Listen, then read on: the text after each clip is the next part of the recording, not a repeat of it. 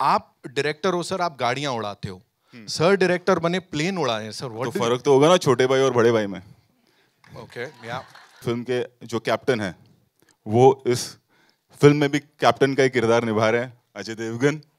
बहुत से लोग होते हैं जो राइटर से डायरेक्टर बनते हैं एक्टर से डायरेक्टर बनते हैं। अजय सर ने भी वही किया है लेकिन एक और सीक्रेट है जो कोई नहीं जानता है। बहुत कम लोग जानते हैं। हम जैसे जब जिन्होंने बचपन साथ में गुजारा है कि ये पहले डायरेक्टर ही बनना चाहते थे।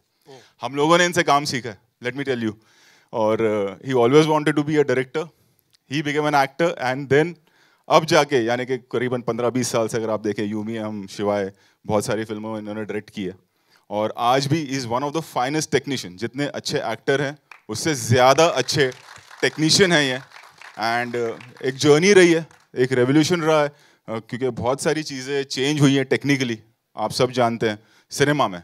और वो फॉलो करते गए एंड ये इस फ़िल्म में भी जब आप प्रोमो देखेंगे तो आपको नज़र आएगा कि how technique has been used you know जैसे तानाजी जब बनी थी, तब एक अलग टेक्निक थी। थ्री में वो फ़िल्म आई थी, आपने विजुअल्स देखा था।